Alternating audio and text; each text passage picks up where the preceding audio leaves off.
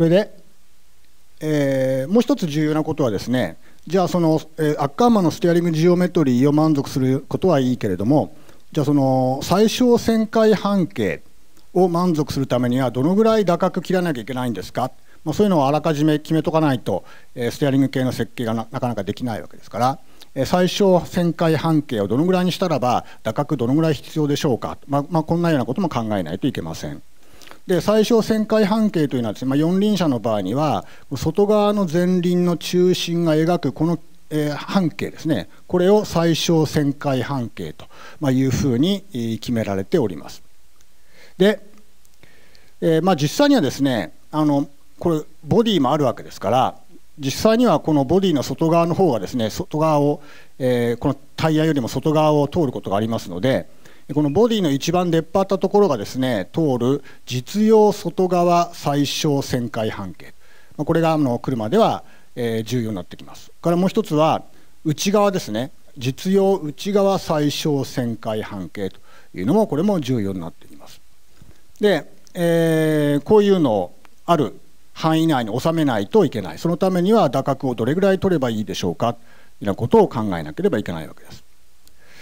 で先ほどあのステアリングジオメトリでアッカーマン型のステアリングというのをご紹介しましたがあれはあくまでも近似的な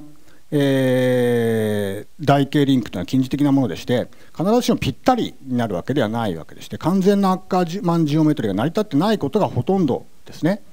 でそういう場合には最小旋回半径っていうのはどうやって計算するんですか？例えばこういうふうにですねアッカーマンのステアリングジオメトリが成り立っていない時にはこのタイヤの向いてる方向と直角なこの線と前輪の向いてる方向と直角なこの線が一点で交わらないってこんなになってしまう。こうなってしまうとこれアッカーマンのステアリングジオメトリーが成り立たないという場合ですこういう場合にはですね最小旋回半径っていうのはどうやって計算するんですかということですがその時にはまこんな式で計算するということになっておりますこんな式で。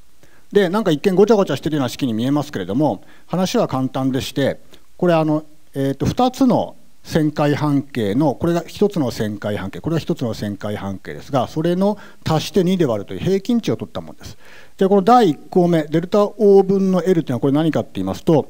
これはここの分ですねここがデルタ O ですねでここは L ですから、えー、このサインデルタ O 分の L ってのはこの緑色のこの線の長さを表しています。これはサインデルタ O 分の L という長さを表しています。から第2項目第2項目この分ですねこの分は何かって言いますとこの外側のタイヤからこっちの中心までの距離を表していますすなわちこれが L でしてから、えー、タンジェントデルタ i 分の L プラス t っていうのはこの長さプラスこの長さですから、えー、このこれの事乗プラスこれの事乗のルート取りますとこのオレンジ色の線の長さになります。でこのオレンジ色の線と緑色の線この2つの要するに、えー、外側前輪の中心からこっちの中心までとこっちの中心まで2つこの中心がですねずれてしまいますので2つの中心までの距離の長さを足して2で割るという平均を取るというのがアッカーマンジオメトリーが成り立たないような場合にはこのような計算の仕方をいたします。でもっと簡単にやりたいよともっと簡単にやりたいですよですから、まあ、この式が成り立つに旋回半径がこの R という旋回半径がですね、えー、何メートルにしたいということになりますとこの式が成り立つように前輪と後輪の打角を決めなきゃいけないということになってきます。から、えー、それもっと簡単にやりたいよという場合にはですねこれ4輪考えなくてですねもっと簡単に2輪モデルと二輪車モデルというので禁じすることもよく行われます。これ非常に簡単でしてもう左右のタイヤを一つにまとめてしまう。ねえ前後二輪だけを考えると今こういう簡易なモデルです。そうしますと幾何学がもっと簡単になりましてですね、えー、このホイールベース L ですねそれからこれが、まあ、あの RF という、え、前輪の接地点中心から旋回中心極低速時の旋回中心までの、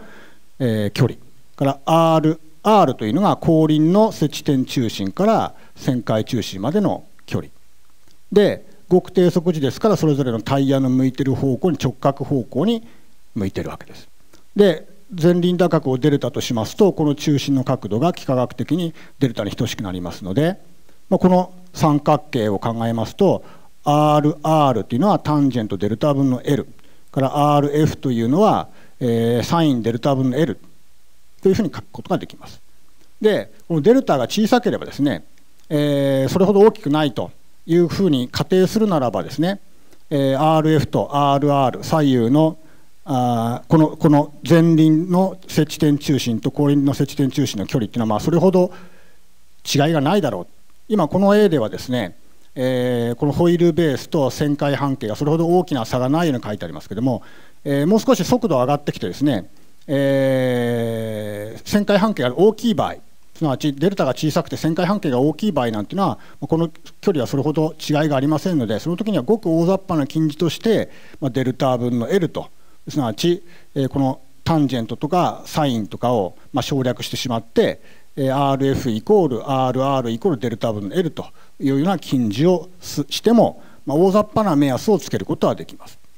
これ見るとですねたくさん打角を切れば、えこの分母にデルタが入ってますからこの分母が大きくなりますと旋回半径が小さくなるよ。まあ、そんなこと分かりますね。ですから L が大きくなるとホイールベースが長くなると同じ打角切っても旋回半径が大きくなるよ。というようなことも分かります。